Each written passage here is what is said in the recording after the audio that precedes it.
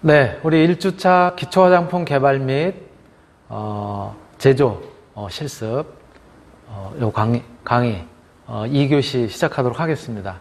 조금 전에 우리가 어, 화장품이라는 것이 어떻게 정의가 되는지 또 화장품의 역할이 무엇인지 또 그 기능이 뭔지 뭐 그런 어, 이야기들 갖다 이제 같이 한번 어, 살펴봤고요. 또 화장품이라고 하는 것이 화장품 법에서 정의된 내용 또 기능을 갖다 부여를 했을 때 또 기능성 화장품이라고 하는 것들이 어떤 어, 것들이 이제 있는지 뭐 그런 이야기를 포함해서 같이 한번 어, 살펴봤습니다. 그리고 조금 전까지는 어, 기초 화장품의 뭐 화장품이 하는 뭐 다양한 어, 어떤 기능들 어, 역할 중에서 기초 화장품이 특히 하는 어, 그런 역할들 그런 것들을 이제 세분해서 이제 살펴봤고요.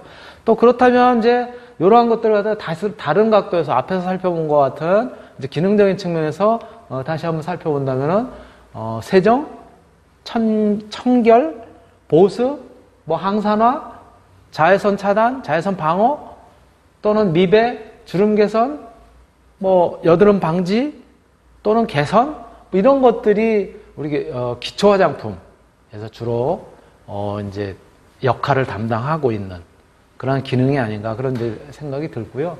어, 바로 그렇다면은 이러한 이제 어, 이런 기능들은 어떻게 이루어지느냐. 사실은 저는 이렇게 생각을 해요.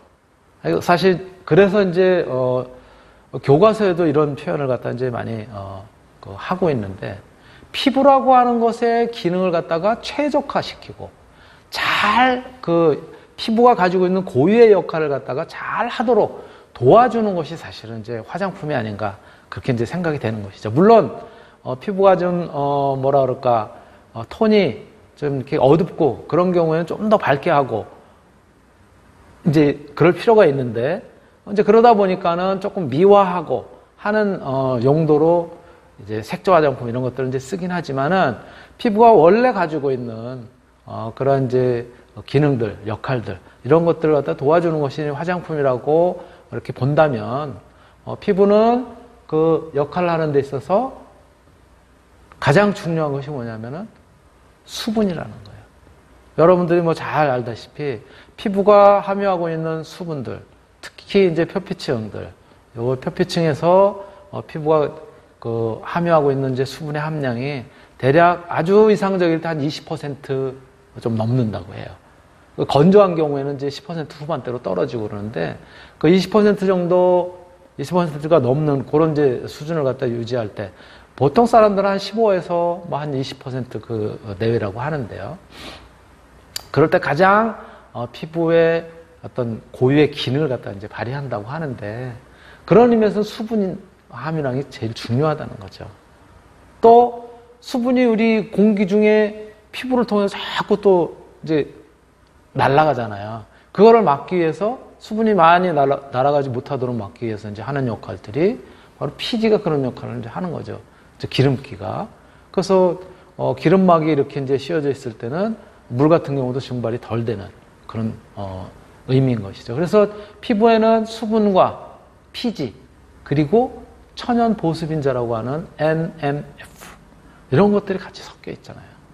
그러면서 피부가 아주 고유의 역할을 갖다 이제 어, 하도록 그렇게 이제 하고 있단 말이에요.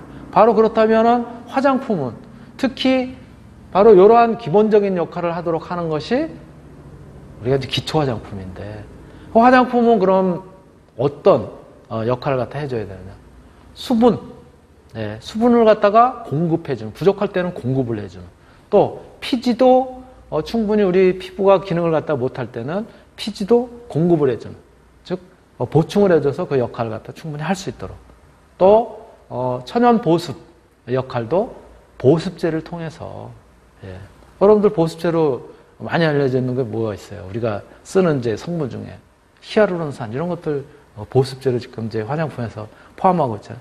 바로 그러한 역할을 통해서 결국은 무엇을 피부가 본래 가지는 그런 역할, 항상성, 기능 이런 것들을 갖다 이제 최적화시키도록 그렇게 이제 어, 한다는 거 아니에요? 그게 바로 뭐냐면 모이스처 밸런스, 수분 균형이라는 거예요. 그래서 수분 균형이 사실은 물론 색조라는 거야 이제 소위 이야기하는 이제 포인트 메이크업 또는 어떤 이제 칼라 메이크업이라는 차원에서 어떤 뭐 눈을 강조한다라든가 뭐 입술을 갖다 조금 더 어, 아름답게 보이게 한다라든가 그런 역할을 하는 거지만 원래 기능을 갖다 하는 측면에서는 어, 수분 어, 균형이 굉장히 중요하다.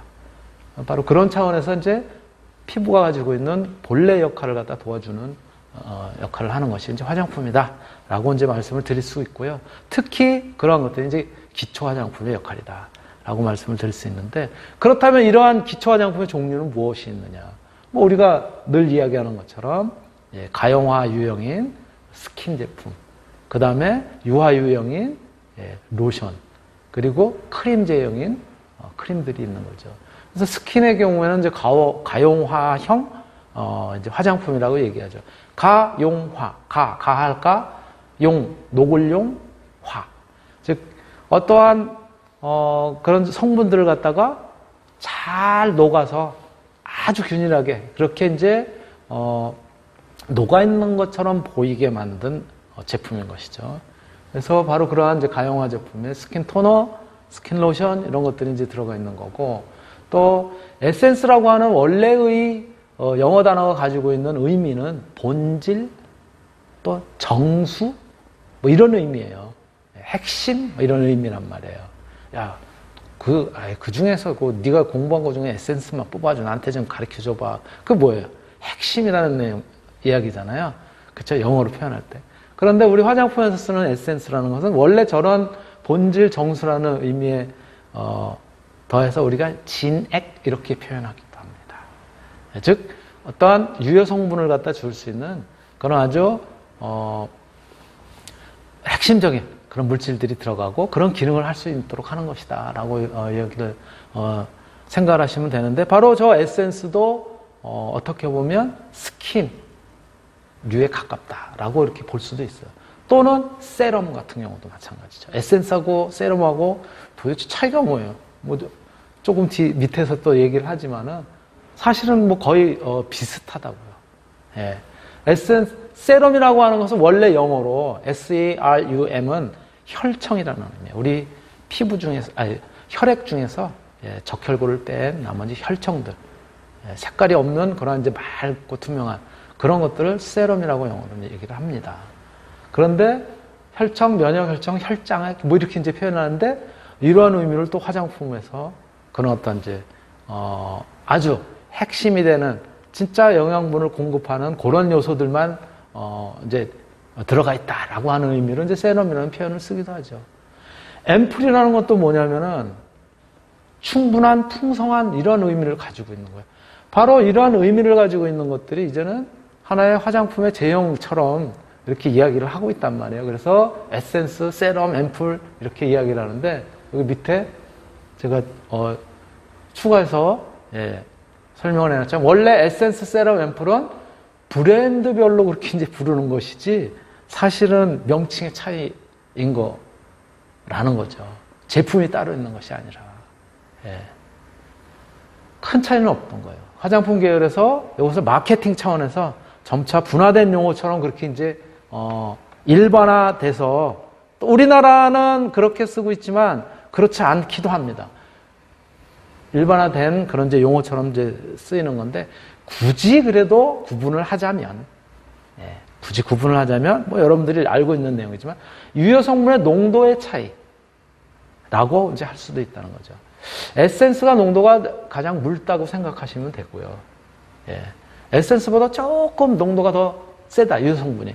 그럼 이제 세럼. 그래서 용기도 에센스보다는 세럼. 세럼보다는 앰플이 더 용기가 점점 적, 적, 작아지잖아요. 그렇죠? 예. 그래서 농도가 높으니까 작게 뭐 만들 수도 있죠. 그러한 어, 차이다라고 생각하시면 될 거예요. 어, 그런 의미에 이제 대부분 이제 스킨으로 분류를 하고 있고요. 또 근데 뭐 어, 이쪽을 연구하고 이런 사람들 중에는 아, 이 스킨 어떤 경우에는 유화에 가까운 거 아니냐? 유화도 요즘은 이제 어, micro emulsion 뭐 이런 것들도 있잖아요. 그런 거에 혹은 nano emulsion 그렇다면은 스킨보다는 유화에 가까운 거 아닐까? 말라고 표현하는 사람들도 있어요. 어, 그래서 이제 두 번째가 이제 유화 제품인 로션인 거죠. 유화형 화장품이고 여기에는 이제 에멀션, 유액 이렇게 이제 표현을 하기도 합니다. 예. 요 유화의 유는 뭔지 혹시 아시죠? 설명 여러분들. 아마 학교 다닐 때 배우셨을 때. 여기에서 유는 기름을 의미하는 건 아니에요. 절대로. 예. 어, 한자로 쓰면은 기름 유자가 있고 여기서 유화라고 하는 것은 기름 유자의 유화가 아닙니다. 뭐 설명을 들은 바가 있으시겠지만 뭐냐면 젖유 우유할 때 젖, 모유할 때 젖을 갖다 의미하는 젖유자예요. 그럼 왜 젖유를 써가지고 유화를 표현을 했느냐? 모유도 그렇고 우유도 그렇고 여기에는 우리 유지방이 있단 말이에요. 지방이에요. 그렇죠? 유성 성분이란 말이에요. 근데 그것만 있냐? 물하고 같이 잘 섞여 있어요. 수분하고 수상 성분하고 같이 잘 섞여 있습니다. 우유나 모유들이. 그래서 지방인 유성 성분과 수성 수성인 수분이 아주 잘 혼합이 되어 있는데 어떻게 혼합이 되어 있느냐? 그냥 놔둬도 잘 분리가 안 될 정도로 잘 혼합이 되어 있죠. 뭐에 의해서? 천연 예, 계면활성제. 천연 계면활성제라고 얘기하는 천연유화라고 하는 그런 이제 우리 몸속에 있는 그러한 것들이 어, 뭐 스핑, 스핑고신 지질이라든가 이런 것들에 의해서 아주 어, 잘 유화가 돼, 잘 이렇게 섞여 있어서 혼합이 되어 있어서 그래서 이렇게 이제 그 어, 뿌연 흰색으로 이제 보이게 되는 것이죠. 어, 모유나 우유가 그렇게 이제 되어 있는 거예요. 바로 그러한 모습으로 그러한 형태로 만든다라고 해서 유화형 제품인 거예요. 즉 로션 크림의 경우가 다 유성 성분과 수성 성분을 갖다가 잘 계면활성제를 통해서 잘 혼합이 돼도 돼서 아주 균일하게 만든 그런 형태잖아요. 그러기 때문에 유화라는 표현을 쓰는 거예요. 그래서 한자로 쓰면 맨 앞에 있는 유는 젖유다 라고 하는 부분을 여러분들 이제 어, 모유 우유에 이제 쓰이는 이제 그런 어, 유화다. 유액이라고 하는 것도 마찬가지입니다. 그래서 어, 우유나 모유처럼 어, 젖과 같은 그런 이제 빛깔을 뜨고 그러한 형태의 모습을 갖다가 이제 띄고 있다라고 한 어, 여러분들 이해를 하시면 될 것 같고요. 크림의 경우에는 이제 그런데 그것이 어, 유화가 되긴 했지만 이제 크림상을 갖다가 이제 가지고 있는 것이죠. 그래서 유화형 어, 제품이긴 하지만 크림의 형태를 갖다 띄고 있다. 뭐 우리 화장품은 아니지만 크림의 형태를 띄고 있는 거 우리 아주 가깝게 접하고 있는 거 뭐 있어요? 여러분들 주변에 뭐 아이스크림도 그렇지만 우리가 먹고 있는 것 중에 마요네즈 같은 경우가 이제 대표적이죠. 그렇죠? 마요네즈 어떻게 만드는지 아세요? 혹시 만들어 본 사람들 여러분들 있을 텐데 굉장히 쉽습니다. 아주 예, 간단해요. 어떻게? 우리 집에서 쓰는 올리브 기름 있잖아요. 어, 예, 유성 성분이에요. 거기다가 뭐 물, 예, 깨끗이 먹는 물 섞이겠어요? 절대로 안 섞이죠. 근데 또 먹는 것 중에 이 어, 계면활성제 경을 갖다가 아주 잘하는 뛰어난 천연 계면활성제 뭐 있죠? 달걀에 있습니다. 바로 레시틴이라고 하는 거. 여러분들이 다 알고 있는 내용이죠. 레시틴이라고 하는 것이 천연 계 면활성제 중에 대표적인 거예요. 콩에도 있지만 콩기름에도 있지만 달걀에 어디에 노른자에 흰자가 아니라 예, 노른자에 많습니다. 그러니까 뭐 마요네즈 만들 때는 아까 말씀드렸던 것처럼 올리브 오일, 그 다음에 물 조금, 그리고 달걀 흰자는 빼고 노른자만, 예, 노른자만 넣어서 막 혼합을 하면 그게 바로 마요네즈가 되는 거예요. 그래서 어, 크림상의 유화 제품이 되는 것이죠. 그래서 유성 성분과 수성 성분 그리고 계면활성제가 어우러진 그런 제품이 이제 만들어지는 형태인 것이죠. 크림이 바로 이렇게 만들어진 것이 이제 기초 화장품의 상당 부분을 많은 부분을 이제 이루고 있다라고 하는 부분을 이제 말씀을 드리고요. 자, 앰플은 이렇게 생겼죠. 아까 말씀드렸던 것처럼 예, 어, 한 한쪽 끝이 이렇게 가늘고 길게 뻗은 유리로 만들어진 거예요. 그래서 완전히 밀폐하기 위해서 보통은 어디에서 많이 썼어요? 주사제로. 예, 주사제로 병원에서 많이 쓴 그런 형태인데 최근에는 뭐 이런 형태도 있지만은 이런 유형도 있었어요. 요즘은 이제 요런 유형의 앰플로 나오진 않죠. 화장품의 경우는. 그렇죠? 이런 경우도 가끔 있긴 합니다. 이제 따서 쓰는 이제 그런 경우도 있긴 한데 요거보다는 이제 다른 형태의 약간은 이제 바뀐 형태의 이제 앰플들이 나오죠. 그래서 어, 대표적으로 에센스 같은 경우 뭐 이런 유형들이 대부분 이제 에센스가 이제 나오고 있고요. 요거보다도 용기가 작은 형태의 이제 세럼이 이렇게 이제 작은 저렇게 스포이드 형태로 만들어져 있는 경우도 있고요. 그쵸? 이렇게 이제 펌프 형태로 만들어져 있는 용기가 작죠. 뭐 아까 그림하고 비슷한 것처럼 보이긴 하지만 실질적으로는 여러분들이 뭐 사용을 늘 하고 있으니까 훨씬 작아지죠. 그러다가 앰플로 가면은 이제 이렇게 어 뭐 아무래 퍼시픽에서 나온 거 이거는 이제 캡도 있긴 하지만 굉장히 작은 유형의 실제로 나와 있는 그런 제품들이에요. 저렇게 스포이드 형태로 되어 있지만 훨씬 작아진 그런 형태의 이제 앰플 제품들도 어 나와 있죠. 그리고 어 이제 유화 제품은 이제 로션의 경우 예, 로션이나 크림은 유화용 제품이고요. 수산과 유상을 보습 성분을 이용해서 유수분을 갖다 이제 보충해주고 또 수분이 날아가지 않도록 하는 그런 이제 어 역할을 갖다 이제 하도록 하고 한쪽은 이제 분산상 또 한쪽은 어, 분산매 즉 연속상으로 해서 이렇게 에멀션 즉 유화의 형태로 만든 것이죠. 그래서 로션의 사례 어, 예고 또 요거는 이제 크림의 예죠. 그렇죠? 크림의 이제 크림은 보통 저렇게 이제 광구형 입구가 넓은 그런 이제 어, 용기에다 많이 쓰죠. 그리고 손으로 이렇게 떠서 쓰도록. 근데 손으로 떠서 쓰면 뭐 여러분들 잘 아시는 것처럼 예, 오염이 될 수 있으니까는 최근에는 저기 이 조그만 어, 주걱이라고 그래야 되나 이런 것들도 이제 같이 어, 들어있죠. 그래서 그렇게 하라는데 사실 뭐 세수 깨끗하게 하고 세안 깨끗하게 하고 손도 깨끗이 닦은 상태에서는 이제 뭐 그 세균, 미생물 이런 것들이 적기 때문에 보통은 이제 손으로 많이 쓰죠. 뭐 저도 늘 그렇게 쓰고 있습니다만은 예, 이러한 유형들이 있고 바로 이렇게 어, 가용화 제품, 유화 제품 뭐 크게는 이렇게 이제 구분을 해서 많이 이제 어, 우리가 기초 화장품에 이제 쓰이고 있는데 네. 어, 유화 제품들, 가용화 제품은 여기에서 조금 더 유성 성분을 좀 적게 놓고, 그쵸? 그리고 이제 계면활성제 쓰고, 나머지는 거의 비슷하게 들어가잖아요. 그래서, 어, 유액, 에멀션을 갖다 이제 구성하는 원료는 대부분 그래서 유성 성분, 수성 성분, 그 다음에 얘네들을 혼합하는 계면활성제, 그리고 기타, 기타 첨가제 이렇게 들어가는 거죠. 유성 성분에는 여러분들 뭐 다 알고 있는 내용이지만 어, 탄화수소류라고 하는 어, 그런 이제 다양한 것들이 들어가죠. 스ኳ란, 유동파라핀, 바셀린과 같은 뭐 이런 것들. 유지라고 하는 뭐 식물성 오일을 포함해서 이런 것들도 들어가고 왁스라고 하는 밀랍이라든가 라놀린 또 지방산이라고 하는 스테아르산, 올레산 뭐 등등의 고급 알코올류로 분류가 되는 뭐 콜레스테롤, 스테아르알코올, 뭐 세타놀 뭐 에스테릴이라고 하는 어, 옥틸 도데실 어, 미리스테이트라든가 예, 또뭐 세틸 옥타노에이트라든가 뭐 여러 가지가 다 이제 이렇게 유성 성분에 들어가죠.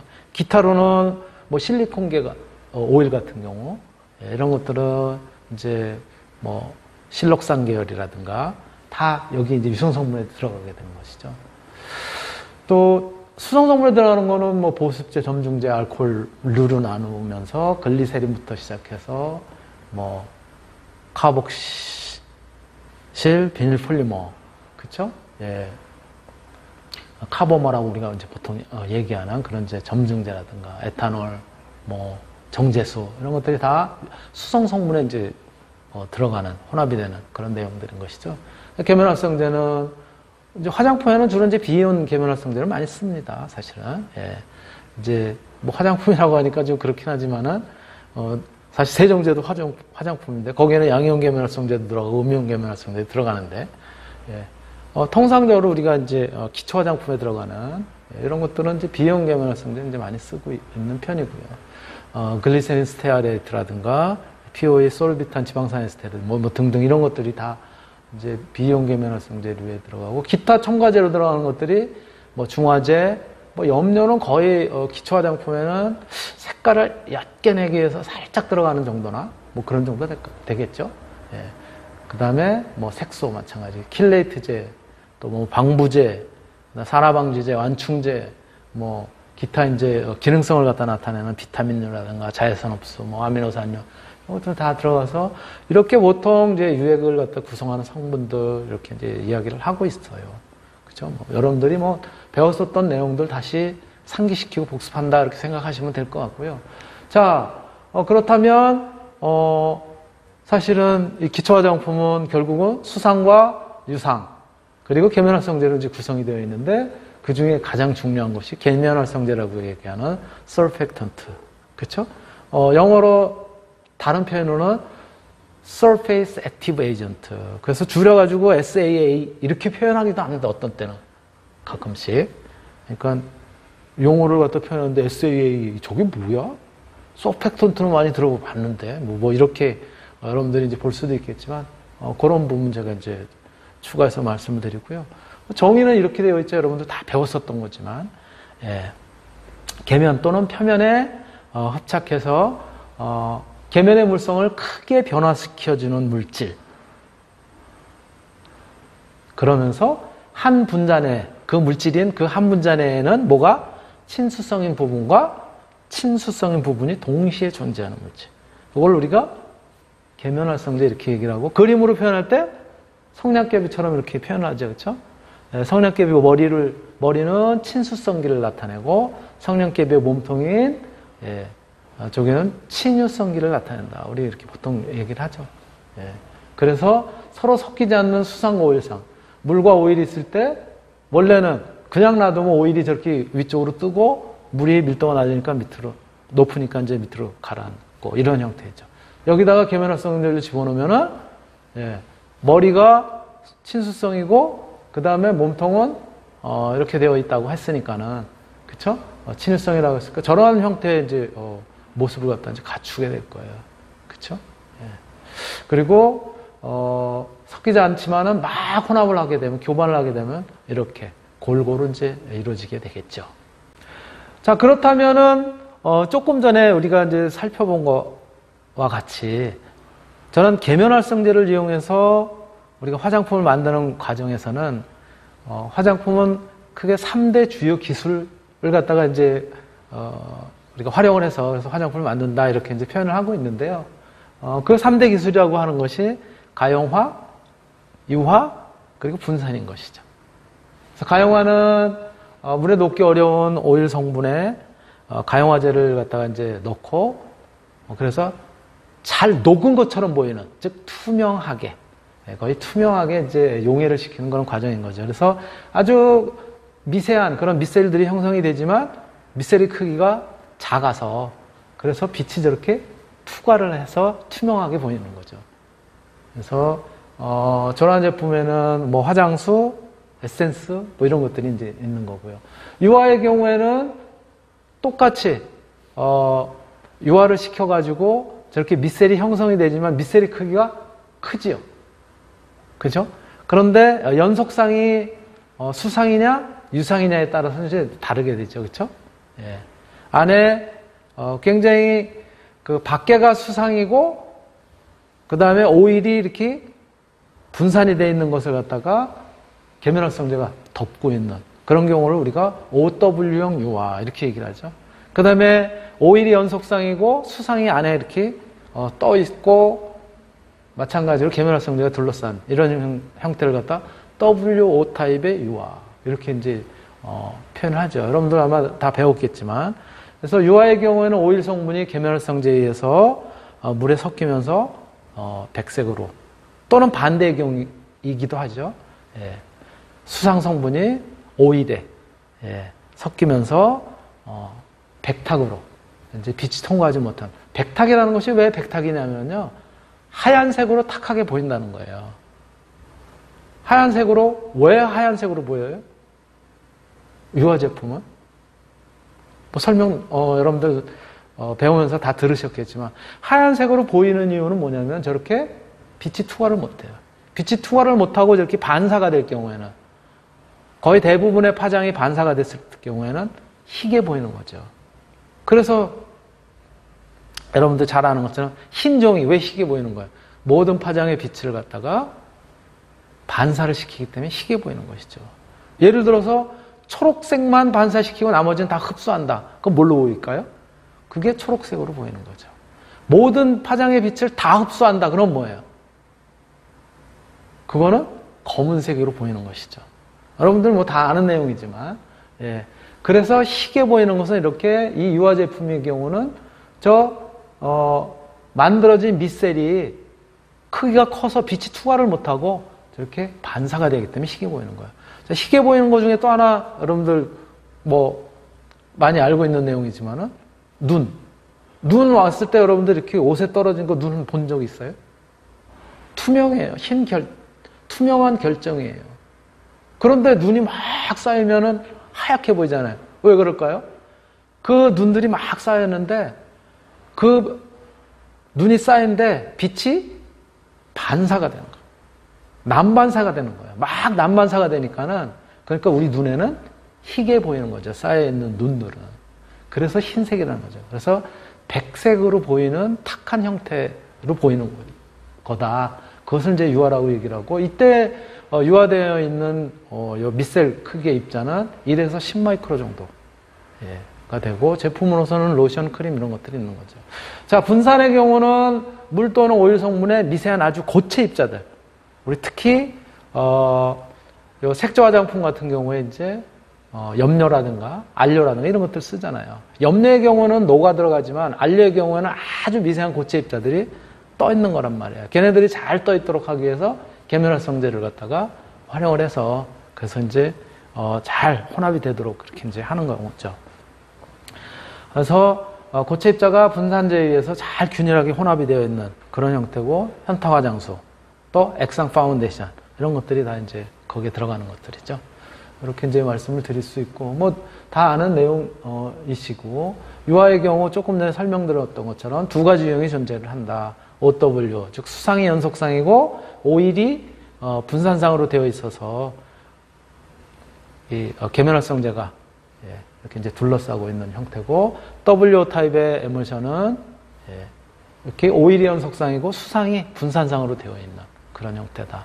어, 다 여러분들이 이렇게 알고 있는 그런 내용 다시 한번 어, 상기시켜드리는 차원에서 말씀을 드렸고요. 자, 그렇다면 유효 제품은 어떻게 제조를 하느냐? 아까 말씀드렸던 것처럼 수상과 유상을 갖다가 이제 활용을 하게 되고요. 기타 성분이 들어가게 되고, 예. 보통 우리가 이제, 음, 계면활성제. 여기 계면활성제 어디 집어넣었을까요? 지금. 수상, 유상. 계면활성제는 어디에 많이 집어넣어요? 여러분들? 예, 수상에 보통 이제 통상적으로 우리가 OW 형태를 많이 만들어서 이제 그렇게 이제 집어넣는데 W 형태일 때는 이제 유상에다가 어, 적용을 해서 그렇게 이제 하기도 하죠. 그래서 수상 성분에다가 수상 성분을 70% 정도 가열을 하면서 유상 성분이 다양한 것들 같아 마찬가지로 사전에 70% 가열한 상태에서 혼합을 하고 그리고 유화를 하죠. 뭘로? 여러분들이 많이 썼었던 것처럼 호모 믹서로 이제 유화를 하죠. 3600rpm 대략 한 3분 정도 하고 그 다음에 이제 기타 성분들을 갖다 순차적으로 투입을 하고 또 2차 유화를 하고 그래서 잘 유화가 돼서 로션이 되든 또는 크림이 만들어지면 그 다음에 이제 기포를 갖다 제거를 하죠. 탈기를 한다 그러죠. 기포를 제거하고 여과를 하고 냉각시켜서 저장을 한 다음에 예, 그 다음에 이제 충전을 하고 그리고 제품을 만들어서 이제 내는 것이 유화 제품의 이제 제조 공정이죠. 우리가 통상적으로 이야기하는 예, 그 공정을 갖다가 여러분들한테 한번 어, 이렇게 이제 어, 소개를 드렸고요. 자, 이러한 내용들의 어, 다양한 그 화장품을 갖다 우리는 이제 한 학기 동안 이제 하게 될 거예요. 여기 어, 쓰여져 있는 날짜는 각 주차를 이야기하고요. 이번 주 3월 1일은 월요일에 이제 쉬기는 했지만 예, 이번 주에는 강의 계획 소개하고요. 어, 다음 주는 기초 화장품의 정의나 어, 조별 세미나 이런 것들을 갖다 이제 하고자 합니다.